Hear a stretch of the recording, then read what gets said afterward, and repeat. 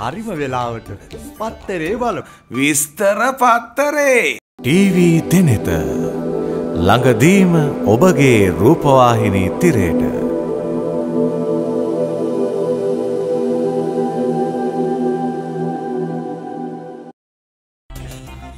අයිබෝවන්.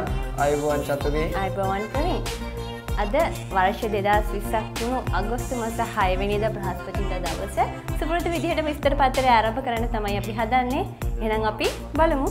විස්තර පත්තරේ අපි දවස පටන්ගන්න විදිිය ප්‍රවීණ එකනකාට වෙනස් වෙනවා. හැබැයි ඔබට පුළුවන් සිනහවෙන් දවස ආරම්භ කරන්න. ඔබ මුළු දවස පුරාම සිනහවී සිටීවී. ඉතින් ඒකත් එක්කම අපි අවධාන යොමු කරනවා ලංකාදීප පුවත්පතට. පුවත්පත් හැම එකම ගත්හම් ප්‍රවින් එකම සිටස්තලේ තමයි තියෙන්නේ චන්දය මැතිවරණ ඒ දිනේ පවත්තන්ට එදුණු මැතිවරණය ගැන තමයි සෑම පුවත්පතකම තියෙන්නේ. ලංකාදීප පුවත්පතේ ප්‍රධාන සිටස්තලය. සියයට හැත්තෑවක් චන්දය දෙති කර රංජන් කස්තරි වාර්තාව ගෙනෙනවා මහ මැතිවරණදි චන්දය ප්‍රකාශ කිරීමට සියට හැත්තෑවක් පමණ වන බව මැතිවරණ කොමිෂන් සභාවේ සභාපති මහින්ද දේශප්‍රිය මහතා ඊයේ ප්‍රකාශ කර තිබෙනවා.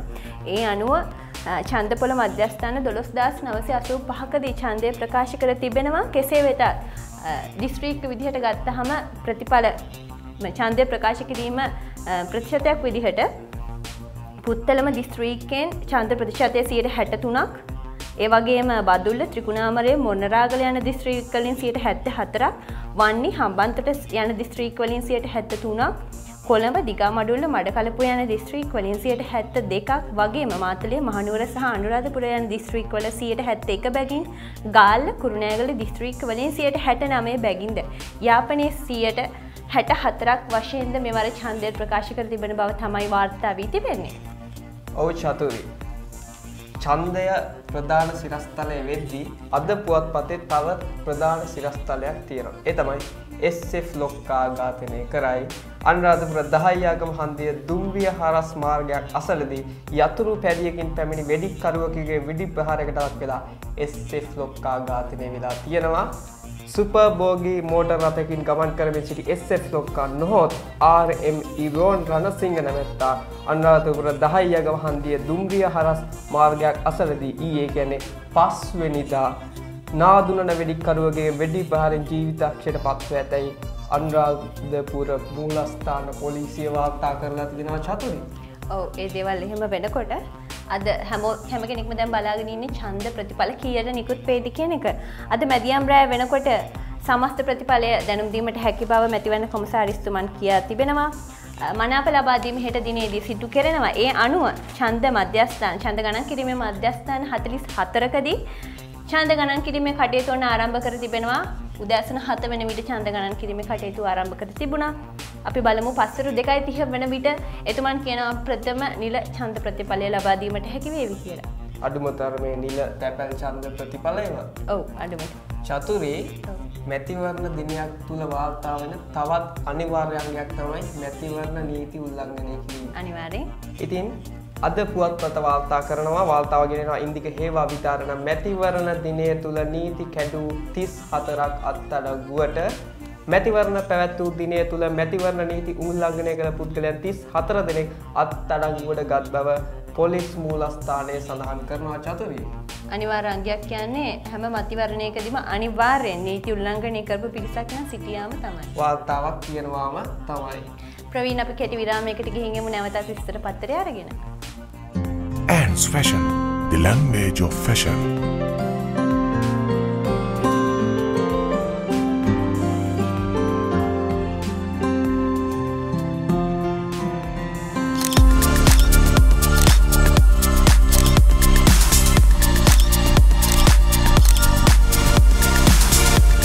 Ants Fashion Kurunegala. Number 251 Putlam Road Kurunegala. North 3722222512. විස්තර පත්තරේ.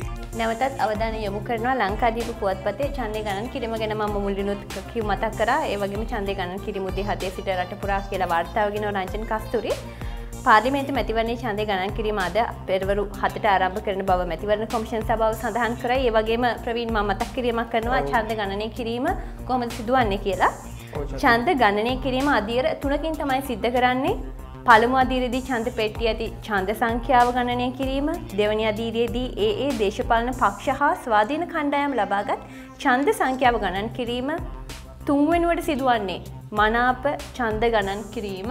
එහෙම තමයි ඡන්ද ගණන් කිරීමේ අනුපා අනු පිළිවෙල සැකසී තිබෙන්නේ. එතකොට චතුරි ඔය කොයිට් 19 වලින් ආරක්ෂා වෙන්න පියවරක් නැද්ද ඔය අස්සේ මං හිතන්නේ සෞඛ්‍ය ගැසටෝ නිකුත් කරලා තියෙනවා ප්‍රවීන් ඒ අනුව තමයි සියලුම රාජකාරි කටයුතු සිදු කෙරෙන්නේ. සිදු වෙන්නේ. හොඳයි චතුරි.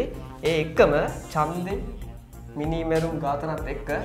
අපේ උසස් පෙළ ශිෂ්‍යයන්ට මතක් කරන්න ඕනේ දෙදායි දෙදස් විස්ස උසස් පෙළ විභාගේ ළඟ ළඟ වෙනවා විස්සයි විසි දෙක වර්ෂය උසස් පෙළ සඳහා පෙනී සිටින සිසුන් සඳහා පාසල් ආරම්භ කිරීම මෙවර උසස් පෙළ විභාගය පැවැත්වීම පසුව සිදු කරන බවට අධ්‍යාපන අමාත්‍යංශය අධ්‍යාපන රාජ්‍ය ලේකම් රංජිද්ද ජයසේකර මහත්තයා ප්‍රකාශ කරලා තියෙනවා චතුරේ ඔව් ඒ පුවතත් එක්කම ප්‍රවීන් මේ මැතිවරණය ගැන කතා කරනකොට අපිට නිතරම මතක් වෙන අපිට නැතුවම බැරි පුද්ගලයෙක් තමයි නියම රාජ්‍ය සේවකයෙක් ගැන තමයි මම මේ වාර්තාව ගෙනෙන්නේ මැතිවරණ කොමසාරිස් කාර්යාලයේ සභාපති මහින්ද දේශප්‍රිය මහත්මයා විශ්‍රාම යන සූදානමින් කියලා සුජිත් හේවා ජූලිගේ වාර්තාව ගෙනෙනවා. එතුමන් මැතිවරණ කොමිසමේ සභාපතිවරයා ලෙස පත් කෙරුණේ 2015 නොවැම්බර් 13 වෙනිදා. ඉතින් එතැන් පටන් ඔහු මේ වනතුරු සභාපති දූරයේ රැඳී සිටිය සහ අවංක රාජ්‍ය නිලධාරයෙක් විදිහට කටයුතු කළා. කෙසේ නමුත් එතුමන් මෙම අ, මස මෙම අවුරුද්ද නොවැම්බර් මාසයේ විශ්‍රාම යන සූදානමින් සිටිනවා. නමුත් ඊට පෙර ඔහු කියනවා ප්‍රතිසාකච්ඡාවකදී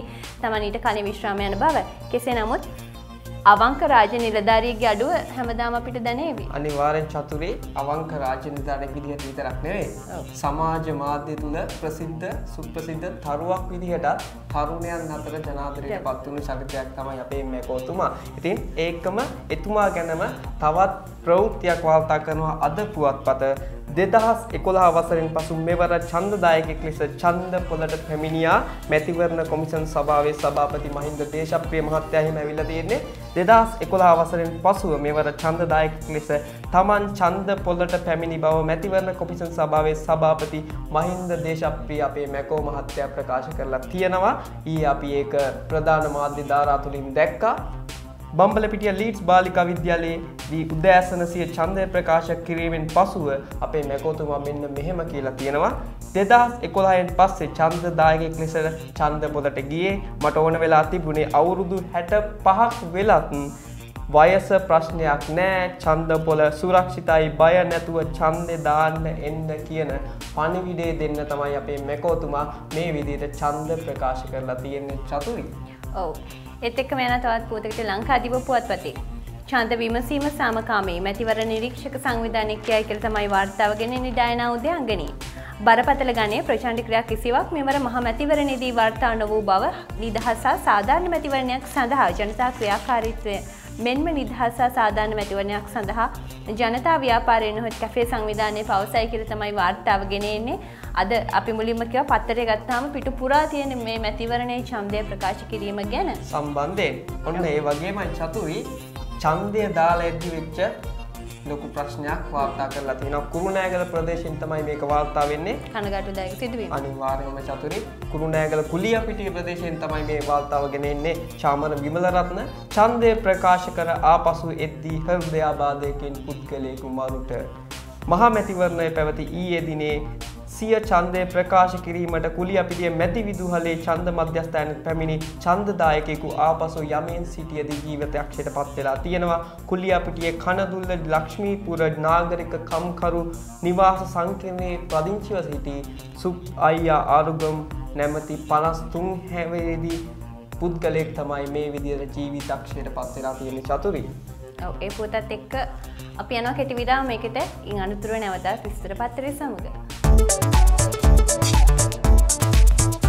උසස් තත්වයේ අමුද්‍රව්‍ය භාවිතයෙන් පමණක් නිපදවන මයික්‍රෝනේට්ටෙන් ඇනවුම් කළ සැනින් ඔබේ දෝතට.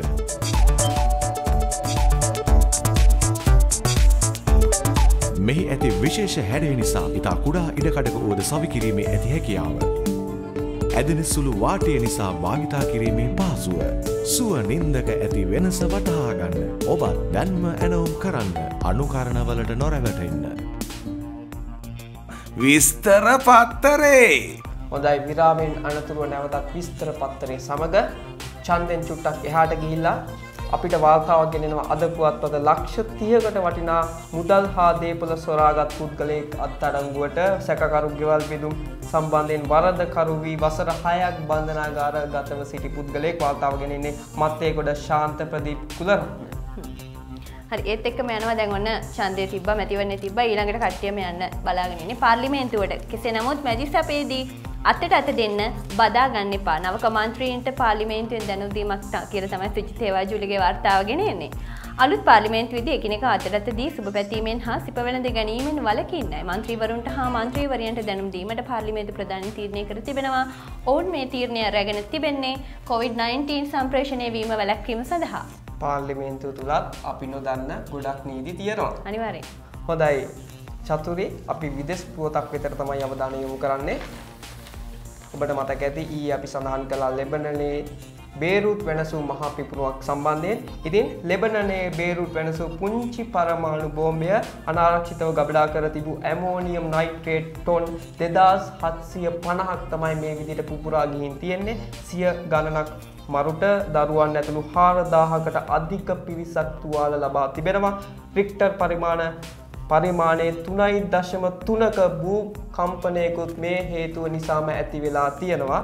හිරෝෂිමාහින් බෝම්බය මෙන් පහෙන් පංගුවක බලයක පිපුරුම් ප්‍රමාණයක් මෙහිදී සිදුවෙලා තියෙන චතුරි හිරෝෂිමා නගසාකි පිපුරුමෙන් පස්සේ අපි දුට විශාලම හානියක් වුණ එක්තර පිපුරුමක් තමයි ලෙබනෙන් පිපුරුම. ඒ වගේමයි චතුරි ඔබට මතක ඇත්නම් ඒ වීඩියෝ පත බලල ඇත්නම් ඒ විදිහෙම පිපිරීමක් තමයි මෙතනත් සිදුවනේ ගොඩක් ඇවාර්තා කරල දිය නිියෂ්ටික බෝමයක විදිහෙම පිපුරුමක් තමයි මේ සිදුවීම කියලා. ඔවු අනිවාර්යම ඒ පොතත් එක්කම අයවන ක්‍රීඩා පොතක් වෙතර ලංකාදීපේ අයර්ලන්තේ ලෝක ශූර එංගලන්තය පරදවයි.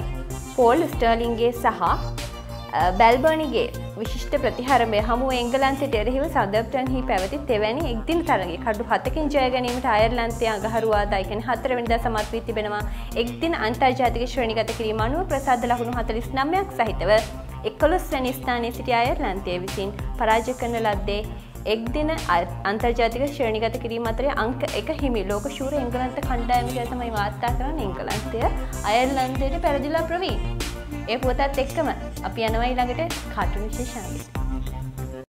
TV දෙනෙත ළඟදීම ඔබගේ රූපවාහිනී තිරයට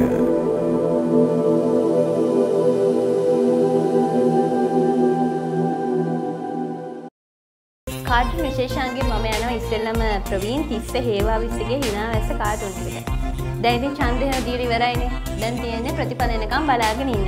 අපේ චන්දදායක මහත්මයෙක් ප්‍රතිඵල එනකම් රූපවාහිනිය දිහා බලාගෙන ඉන්නවා. චන්ද ප්‍රතිඵල කියලා රූපවාහිනිය වැටලා තියෙනවා. දාඩියක් දාලා තියෙනවා හැබැයි මේ චන්දදායකයට කියනවා නෝනේ කෝකටත් මගේ ප්‍රෙෂර් පෙත්ත මෙතනින් ගෙන තියෙනවාද කියලා ප්‍රතිඵල කොහොම වේද කියලා අපි දන්නේ ඡන්ද දායකයකටත් වඩා මෙතන ඉන්නේ ඇමති කෙනෙක් කියලා කියන්න පුළුවන් මොකද ප්‍රෙෂර් වැඩි වෙන්නේ ඇමතිලාට කාටවත් මේ පාර ප්‍රතිඵල හිතාගන්න බැරි තමයි තියෙන්නේ. එතකොට චතුරී තලන්ගේ ඒතුමා ඒතුමාගේ ගේ පැත්තෙන් මෙන්න මෙහෙම සත්‍යයක් ඇහෙනවා. මිනි මරණමෝ මාව බේර ගනියෝ කියලා. කට්ටිය ඇවිල්ල බලනවා. මොකක්ද ප්‍රශ්න? කියලා. ඇයි ඇයි සර් මොකක්ද මේ කලබලේ? එතකොට ඔන්න එතුමා කියනවා. කලබල නොවී ඉන්න පුළුවන්ද යකෝ? බලපම් මේ ගෑනි මනා පෙදීලා තියෙන්නේ. මගේ විරුද්ධකාරයට එම